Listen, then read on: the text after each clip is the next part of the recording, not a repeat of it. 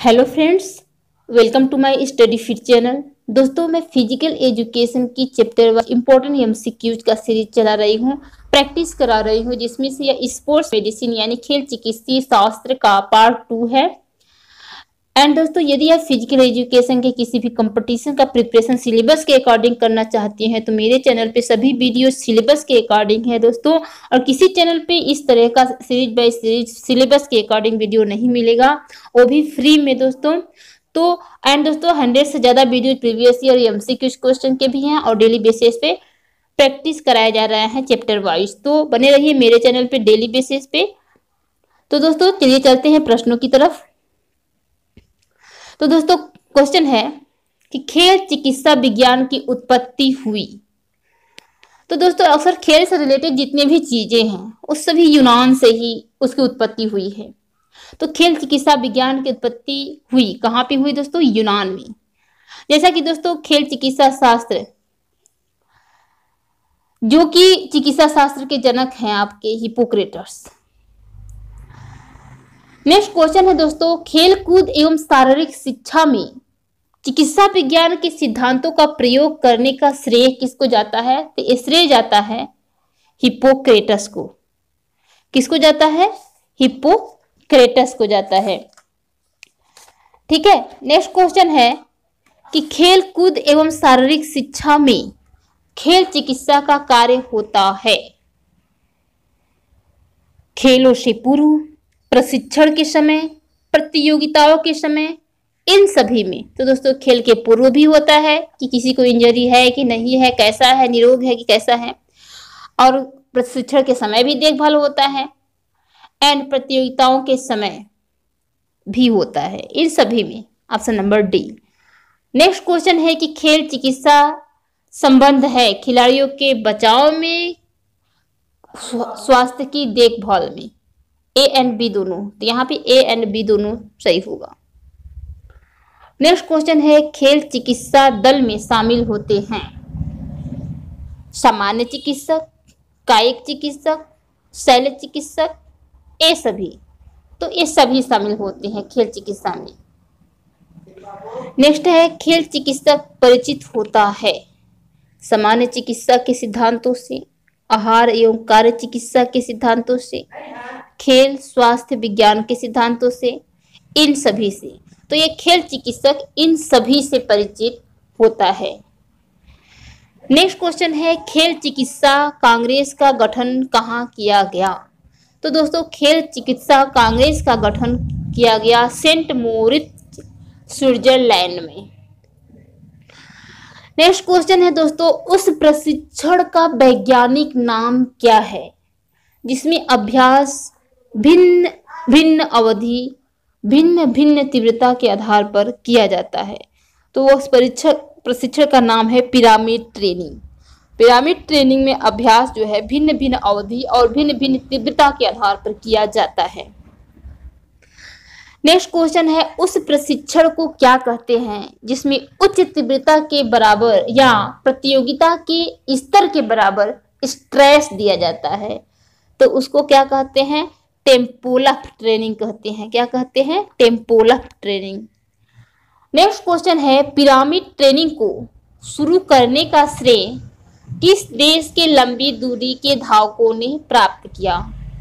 तो दोस्तों, pyramid training को शुरू करने का श्रेय रसिया, रूस के देश के लंबी दूरी के धावकों ने प्राप्त किया। नेक्स्ट क्वेश्चन है कॉन्टिन्यूस रिले ट्रेनिंग तकनीक को दूसरे किस नाम से जाना जाता है? तो दोस्तों कॉन्टिन्यूस रिले ट्रेनिंग तकनीक को पैरालफ ट्रेनिंग के नाम से जाना जाता है।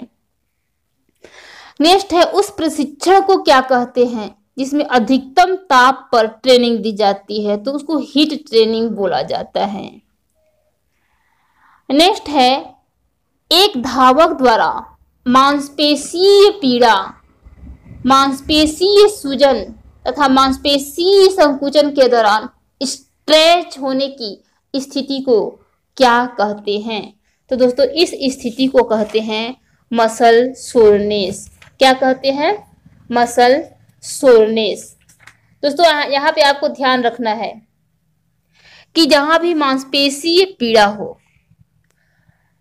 दर्द सहित कार्य की बात हो वहाँ पे मसल सोरनेस होगा। क्या होगा? मसल सोरनेस होगा। यानी कि जब कोई खिलाड़ी मुश्किल भरा दर्द सहित कार्य करता है तो उसे मसल सोरनेस के नाम से जाना जाता है। और इसमें पेशी तंतु में सूजन आ जाती है। इसका कारण क्या होता है दोस्तों? ये शरीर में पानी की कमी या विद्युतीय अवघटकों के असंतुलन से होता है। इसे मसल्स क्रैम्प भी कभी कभी बोला जाता है। यह चोट ग्रसित पेशी में अचानक से तीखा दर्द होता है। ठीक है तो मांसपेशी पीड़ा शब्द आए या दर्द सहित कार्य शब्द आए, यहाँ पे आप समझ जाइएगा, वहाँ मसल सोरनेश होगा। नेक्स्ट दोस्तों, कि मांसपेशी में एक अधिकतम सीमा से भी अधिक तनाव आ जाए। तो तनाव आ जाए या खिंच जाए तो उसे हम क्या कहेंगे? तो यहाँ पे दोस्तों आपको समझना है। यदि यहाँ पे बोलता है कि मांसपेशी में एक अधिकतम सीमा से अधिक तनाव आ जाए या तो खिंचाव आ जाए तो क्या कहते हैं, वो स्ट्रेन हो जाता। लेकिन ये क्या बलपूर्वक बात कह रहा है। उस बात को क्या कर रहा है? बलपूर्वक बोल रहा है। यानी कि मांसपेशी में एक अधिकतम सीमा से भी अधिक, सीमा से भी अधिक तनाव आ जाए या खिंच जाए तो उसे हम कहते हैं मसल्स पूल क्या बोलते हैं? मसल्स पूल तो जहाँ बलपूर्वक मांसपेशी के खिंच जाने की बात हो, मांसपेशी या टेंडन की खिंच जाने की बात हो, वहाँ मसल्स पूल होगा, बलपूर्वक. ठीक है? तो शब्दों पर आपको ध्यान देना होगा. नेक्स्ट क्वेश्चन है, कोहनी की हड्डी से जुड़ी मांसपेशियों में अत्यधिक स्ट्रेच आ जाए, यानी ओवर यूज़ के कारण. यानी बार बार प्रयोग के कारण। तो इस चोट को क्या कहते हैं? तो दोस्तों, इस चोट को हम टेनिस एल्बो बोलते हैं। क्या बोलते हैं? Tennis elbow. टेनिस एल्बो जो होता है दोस्तों, वो कोहनी के पास स्थित पेशी वह टेंडन के बार बार प्रयोग से होता है। जैसे कि इसके क्या कारण हो सकते हैं? जैसे कि हमारे कोहनी के पास की जो टेंडन होती है, उसका नाम है ईपी कोंडाइल। ईपी कोंडाइल के पास के टेंडन के टूट जाने, हड्डी के ऊपर से हट जाने के कारण कोहनी और कोहनी के पास के टेंडन के क्रोनिक रूप से स्ट्रेस फ्रैक्चर के कारण होता है और अग्र बाहू के अचानक से खिंच जाने के कारण होता है और रैकेट वाले खेलों में गलत तरीके से ग्रिप से का होता है। ठीक है, गलत तरीके से हीट के कारण होता है, या अधिक भारी रैकेट का प्रयोग कर रहे हैं, तब होता है, और या ओवर साइज़ ग्रीप कर रहे हैं, यानी बहुत बड़ा साइज़ है, भारी बाल का प्रयोग कर रहे हैं रैकेट के तारों का टाइट है तो भी ये होता है। तो इसको हम कैसे पता करेंगे दोस्तों कि हमारे, मेरे में टेनिस एल्बो इंजरी हुआ है, जैसे कि हम अपने मूवमेंट कराएँगे, उसको हाथ को pronation supination and elbow flexion extension कराएँगे, ठीक है? एंड दोस्तों, ये जो टेनिस एल्बो होता है forehand tennis elbow and backhand tennis elbow दो प्रकार का होता है। इसके बारे में डिटेल में बता चुकी हूँ। इंजरी वाले वीडियोज़ को देख लीजिएगा। नेक्स्ट क्वेश्चन है दोस्तों, किसी शारीरिक क्रिया को करते समय मांसपेशियों में क्रैम्प आ जाए तो उसे हम क्या, उसके कारण क्या होते हैं? तो दोस्तों यहाँ पे दिया है कि अत्यधिक गर्म वातावरण में अभ्यास करने के कारण ग्लाइकोलाइटिक की कमी हो जाती है तथा रक्त का संचारण संकुचित मांसपेशियों तक पर्याप्त न पहुँचना। एंड मिनरल्स जैसे पोटेशियम तथा मैग्नीशियम की मांसपेशियों में कमी आ जाना। ए एंड वी दोनों। तो दोस्तों, यहाँ पे ए एंड वी दोनों सही होगा। जैसा कि जो जो ऐठन होता है, क्रैम्प होता है, वो क्या होता है? पेशी के जोरदार या अनैच्छिक रूप से संकुचन के कारण पेशी तथा पेशी के समूह में ऐठन आ जाती है, उसी को क्रैम्प बोला जाता है। तो इसके कारण है अत्यधिक गर्म वातावरण, पेशी में ग्लाइकोलाइटिक की कमी के कारण एंड पोटेशियम, मैग्नीशियम की मांसपेशियों में कमी के कारण। नेक्स्ट है दोस्तों, शारीरिक अभ्यास करते समय अचानक पेट के ऊपरी भाग में दर्द होना या पेट की मांसपेशियों में क्रैम्प आ जाना क्या कहलाता है? तो दोस्तों, यह आपका कहलाता है स्टीच। क्या बोला, बोलता है? स्टीच। जैसे कि यह दौड़ते समय या कोई कार्य करते समय अचानक से तीखा दर्द होता है पेट के निचले भाग में। इसे स्टीच कहते हैं।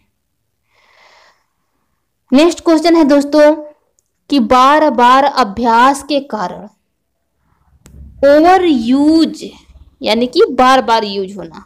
बार बार यूज़ के कारण या बार बार अभ्यास के कारण टेंडन के तंतुओं में सूजन सख्त और छोटा हो जाना क्या कहलाता है? तो दोस्तों, जब टेंडन की बात आए बार बार यूज़ होने का तो सूजन और सख्त छोटा हो जाना तो वहाँ पे होगा टेंडनाइटिस। क्या होगा? टेंडनाइटिस। वहीं पे इसी चीज़ का बात करेगा साइनोवियल क्षेत्र में तो साइनोवाइटिस हो जाएगा। जब टेंडन और साइनोवियल दोनों की बात करेगा एक साथ तो टेनोसाइनोवाइटिस हो जाएगा। ध्यान में रखिएगा।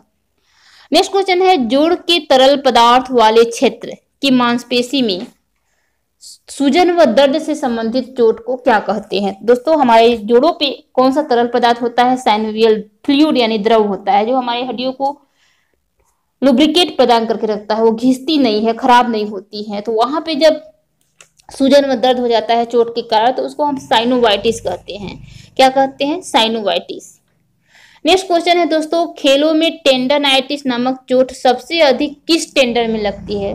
तो दोस्तों ये सबसे अधिक हमारे जो एड़ी के पास की टेंडन होती है, जिसे एचिलिस टेंडन कहते हैं, उसमें सबसे ज़्यादा टेंडनाइटिस चोट लगती है। नेक्स्ट क्वेश्चन है, जोड़ के पास लिगामेंट के अपनी एक अधिकतम सीमा से अधिक खिंच जाने को क्या कहते हैं? तो जैसा कि दोस्तों मैं कई वीडियो में बता चुकी हूँ कि इसको कहते हैं स्प्रेन।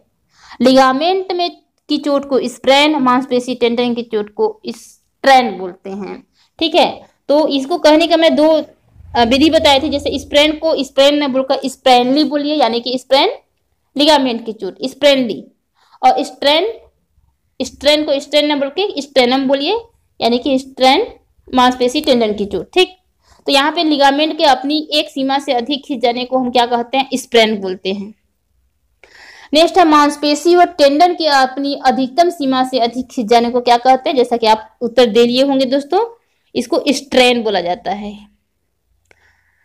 नेक्स्ट क्वेश्चन है चौथा लंबर वर्टिब्रा के, पांचवे लंबर वर्टिब्रा लंबर मतलब कमर के भाग को लंबर बोला जाता है। वर्टिब्रा मतलब रीढ़ की हड्डी, ठीक है?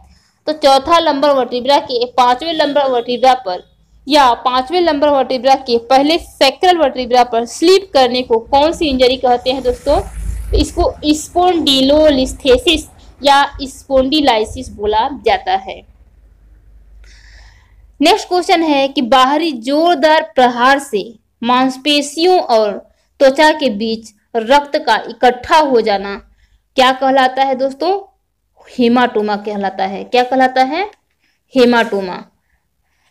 यहीं पे आपका जोरदार प्रहार से रक्त जम जाने की बात कहेगा या बार बार यूज़ होने की बात कहेगा तो वहाँ पे आपका हो जाएगा कांट यूजन। लेकिन जब त्वचा के बीच रक्त इकट्ठा होने की बात करेगा, जोरदार प्रहार से आपका वहाँ पे हेमाटोमा होगा। नेक्स्ट दोस्तों, जब जोड़ के पास टेंडन और साइनोवियल क्षेत्र में सूजन आ जाए तो उसे हम क्या कहते हैं? टेंडन और साइनोवियल दोनों का शब्द का प्रयोग किया है तो वहाँ पे हो जाएगा टेनोसाइनोवाइटिस। क्या हो जाएगा? टेनोसाइनोवाइटिस। नेक्स्ट है, गर्दन की मेरु रज्जु में डिस्क के खिसकने या अथवा दर्द होने की चोट को क्या कहते हैं दोस्तों? इसको कहते हैं सर्वाइकल स्पोंडिलाइसिस क्या बोलते हैं? सर्वाइकल स्पोन्डिलाइसिस। नेक्स्ट क्वेश्चन है दोस्तों, कमर के दर्द को किस नाम से जाना जाता है? तो इसको बैक एक के नाम से भी जाना जाता है। नेक्स्ट क्वेश्चन है, किसी खिलाड़ी के क्वाड्रिसेप्स मांसपेशी में कांट यूजन हो जाए तो उसे वैज्ञानिक तौर पर किस नाम से जाना जाता है? तो दोस्तों क्वाड्रिसेप्स मांसपेशी जो हमारे हिप को मोड़ने और घुटने के प्रसार में काम करती है तो ये यहाँ पे अब अगर कोई चोट आ जाए तो उसे हम कहते हैं चार्ली हाउस क्या कहते हैं? Charley horse. यहाँ पे कांट्यूजन हो जाए, यानी कि रक्त जम जाए, जोरदार प्रहार से तो उसको हम चार्ली हार्स बोलते हैं। नेक्स्ट क्वेश्चन है दोस्तों, जब घुटने का फ्लैक्शन मूवमेंट अवरुद्ध हो जाए तो इसे चोट को क्या कहेंगे? तो इस चोट को हम मायोसाइटिस कहेंगे। क्या कहेंगे? मायोसाइटिस कहेंगे। नेक्स्ट है दोस्तों, एड़ी के नीचे की मांसपेशी। जो हम, एड़ी के नीचे की मांसपेशी के टूखने के कारण उसमें तरल पदार्थ जम जाए तो उसे हम क्या कहते हैं उस चोट को? तो उसको हम ब्रसाइटिस बोलते हैं। नेक्स्ट है दोस्तों, मेटाटार्सल में स्ट्रेच, मेटाटार्सल में स्ट्रेस फ्रैक्चर होने को क्या कहते हैं? तो दोस्तों, मेटाटार्सल में जब स्ट्रेस फ्रैक्चर हो जाता है, जो हमारे टखने के पास मेटाटार्सल जो हड्डियाँ होती हैं, उसमें अगर स्ट्रेस फ्रैक्चर हो जाए तो उसे हम मार्च फ्रैक्चर कहते हैं। क्या कहते हैं? मार्च फ्रैक्चर यानी हमारे टखने में स्थित मेटाटार्सल हड्डी में स्ट्रेस फ्रैक्चर का होना।